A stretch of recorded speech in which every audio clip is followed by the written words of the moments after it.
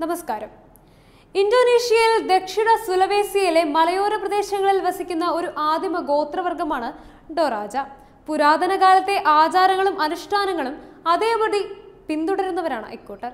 പ്രത്യേകതരം ജീവിത രീതിയും വേഷവിധാനങ്ങളും പ്രത്യേക വാസ്തുവിദ്യാ രീതിയും വർണാഭമായ മരം കുത്തുപണികളുമെല്ലാം ഇവരുടെ സവിശേഷതകളിൽ പെടുന്നു എന്നാൽ ഇവരുടെ ഏറ്റവും വലിയ പ്രത്യേകത ഇവയൊന്നുമല്ല.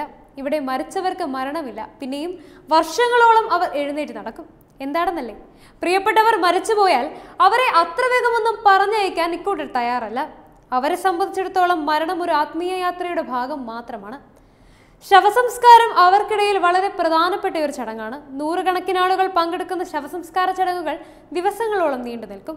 ഈ ചടങ്ങിൽ എരുമകളുടെയും പന്നുകളുടെയും ബലിയും ഉൾപ്പെടുന്നു. ഏറെ ചിലവേറിയതാണ് സംസ്കാരം എന്നതിനാൽ ബന്ധുക്കൾക്ക് മരണം നടന്നയുടൻ തന്നെ ചടങ്ങുകൾ നടത്താൻ കഴിയണമെന്നില്ല.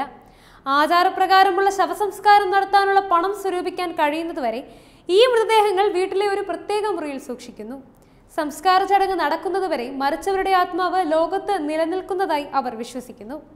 അതിനുശേഷം ആത്മാക്കളുടെ നാടായ പുയയിലേക്ക് യാത്ര ആരംഭിക്കും അതുകൊണ്ട് തന്നെ വീടിനുള്ളിൽ സൂക്ഷിക്കുന്നിടത്തോളം മരിച്ചയാൾക്ക് എല്ലാ ദിവസവും ഭക്ഷണം നൽകുക എന്നത് ഒരു ചടങ്ങാണ്.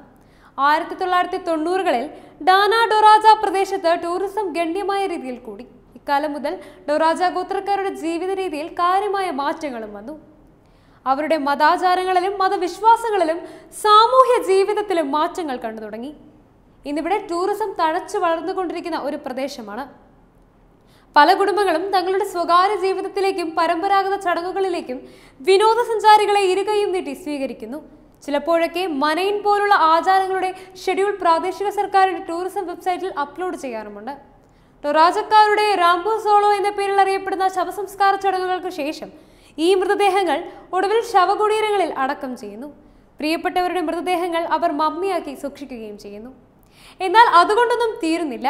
വർഷം തോറും ഇവിടെയുള്ളവർ തങ്ങളുടെ പ്രിയപ്പെട്ടവരുടെ മൃതദേഹങ്ങൾ പുറത്തെടുക്കും. അവയിലെ പ്രാണികളെയും പൊടിപടലങ്ങളുമെല്ലാം വൃത്തിയാക്കി പുതിയ വസ്ത്രങ്ങളും ആഭരണങ്ങളും എല്ലാം അണിയിച്ച് തെരുവുകളിലൂടെ ആഘോഷമായി എഴുന്നള്ളിക്കുകയും ചെയ്യുന്നു. മനയിൻ എന്നാണ് ഈ ആചാരം അറിയപ്പെടുന്നത്. നൂറിലധികം വർഷം പഴക്കമുള്ള മൃതദേഹങ്ങൾ പോലും ഇങ്ങനെ പുറത്തെടുക്കാറുണ്ട്. ഈജിപ്തിലെ മമ്മികളിലേതുപോലെ മൃതദേഹം കേടുകൂടാതെ ദീർഘകാലം സൂക്ഷിക്കാനായി ടൊറാജക്കാർക്ക് പ്രത്യേക എംബാം ടെക്നിക്കുകളുണ്ട്. മരിച്ചവരോട് സ്നേഹവും ബഹുമാനവും ആദരവും പ്രകടിപ്പിക്കുകയാണ് ഈ ആചാരത്തിന് പിന്നിലുള്ള ലക്ഷ്യം. എഴുന്നള്ളിപ്പിന് ശേഷം ഈ മൃതദേഹങ്ങൾ തിരിച്ച് വീട്ടിലേക്ക് കൊണ്ടുവരികയും കുടുംബാംഗങ്ങൾ എല്ലാവരും ചേർന്ന് അവയോടൊപ്പം ഒരുമിച്ചിരുന്ന് ഭക്ഷണം കഴിക്കുകയും ചെയ്യുന്നു. ഇങ്ങനെ ചെയ്താൽ കുടുംബത്തിൽ ആരോഗ്യവും ഐശ്വര്യവും ഉണ്ടാകുമെന്നും അവർ വിശ്വസിക്കുന്നു. ഇങ്ങനെ അടക്കം ചെയ്യുന്ന പെട്ടികളിൽ മരണപ്പെട്ടയാളിന്റെ ബന്ധുക്കൾ വിവിധ സമ്മാനങ്ങൾ ഇടാറുണ്ട്.